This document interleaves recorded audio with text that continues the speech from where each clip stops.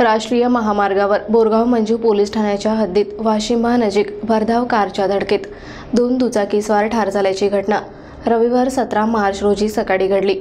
अधिकारी बनण्याची स्वप्न उराशी बाळगून हे दोन्ही विद्यार्थी स्पर्धा परीक्षेला जाताना हा अपघात घडला.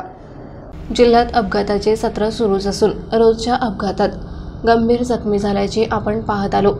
पण आता हे होणारे अपघात जीवघेणे ठरत असून रविवारी सकाळी असाच एक अपघात झाला असून या अपघातात पवन पिराजी गायकवाड वय सव्वीस वर्ष वैभव विजय गवडी वय चोवीस वर्ष राहणार शिवणी या दोघांना आपल्या जीवास मुकावे लागले.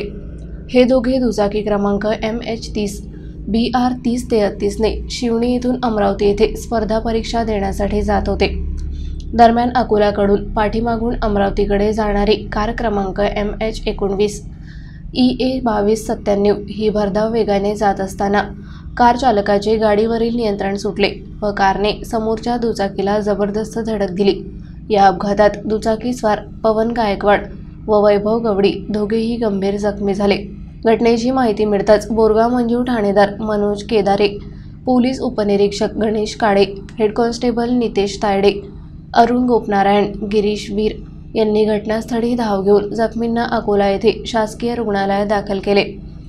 मात्र डॉक्टरांनी दोघांनाही मृत घोषित केले. दरम्यान पोलिसांनी कारसह चालकाला ताब्यात घेतले आहे. पुढील तपास ठाणेदार मनोज केदारे यांच्यासह पोलीस करीत आहेत.